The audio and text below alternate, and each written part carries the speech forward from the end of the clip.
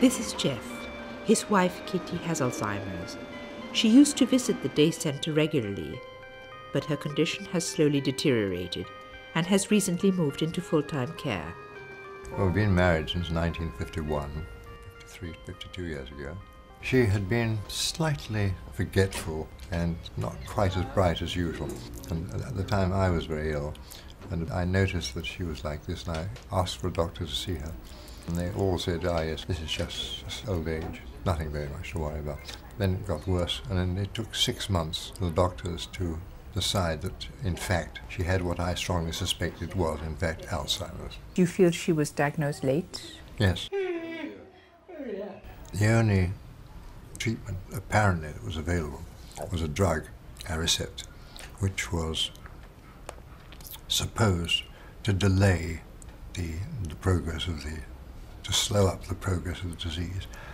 And the later we started on it, obviously, the less effect it had. So I think we lost some six months when the doctor did not positively diagnose Alzheimer's, and therefore he was unable to prescribe the appropriate drug.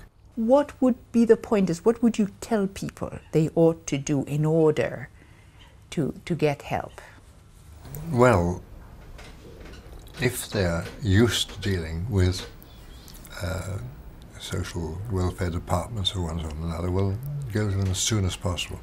I probably left it rather too late. I could have gone much earlier because I thought that I could cope on my own and do that. But it, it was only when things got tough that I, friends helped, rallied round and gave me addresses and names and lines of approach to get the help that was available.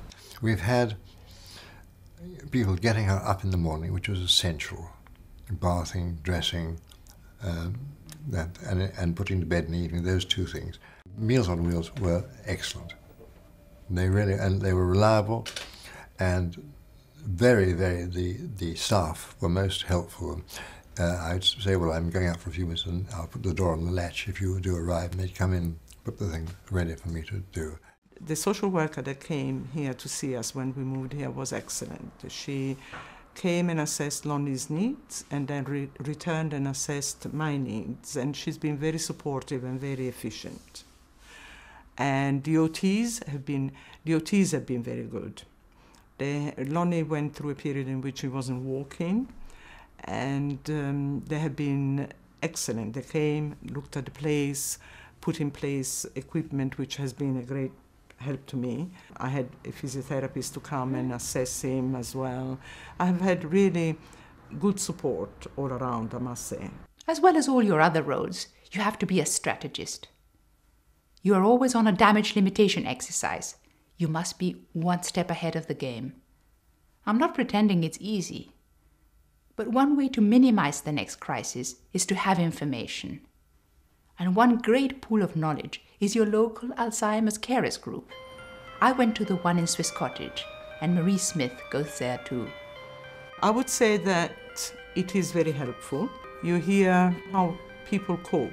People have different strategies. And also, we must not forget that everybody who is in this situation, yeah, the carer and the person who is cared for, they have a special relationship going there, which is never the same for two people. Because I, I must tell you that I have a, a theory that the carer is the You hear stories and it helps you to sort of judge what you are doing with your own situation and maybe also help you sometime to find new solutions, you know. And it took me quite a while to understand that unless I put him to bed, he wouldn't, he wouldn't get into bed because his brain wasn't really telling him to come to bed, but he was possibly very tired.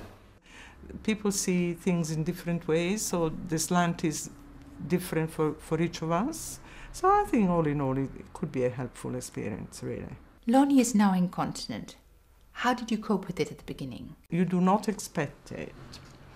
You know that it's a possibility on the horizon, but when it actually happens, it happens in a way that you possibly didn't envisage.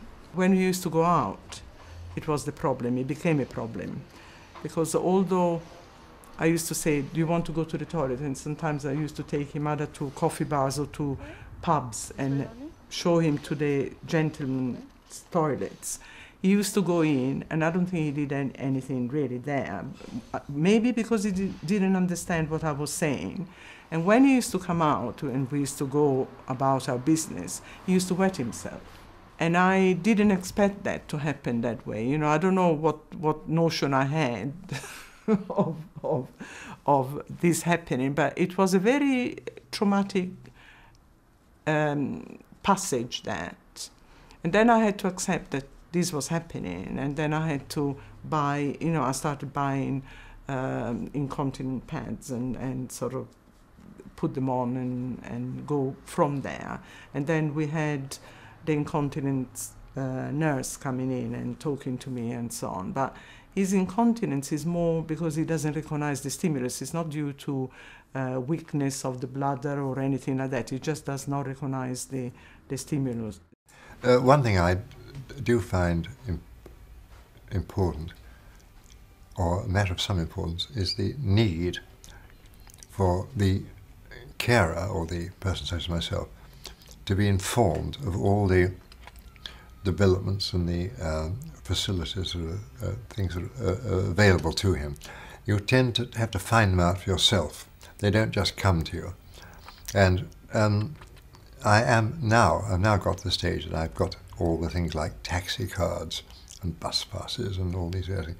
But all the help that you can get, a lot of care, there are so many things that you can get, both um, financial um, support, um, information, medical information, things like that. You do have to sort them out yourself. And the more help, the more help that can be offered that way, the more you get, the much it makes life much much better if you can get lots and lots of information.